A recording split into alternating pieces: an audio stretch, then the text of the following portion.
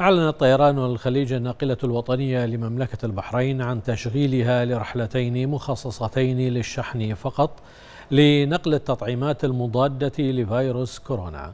وقد قامت الناقلة الوطنية بنقل 300 ألف جرعة من تطعيم سينوفارم من جمهورية الصين و100 ألف جرعة من تطعيم سبوتنيك من روسيا الاتحادية حيث تواصل الناقلة الوطنية دعمها للجهود الوطنية في التصدي لهذه الجائحة ونقل التطعيمات من دول العالم.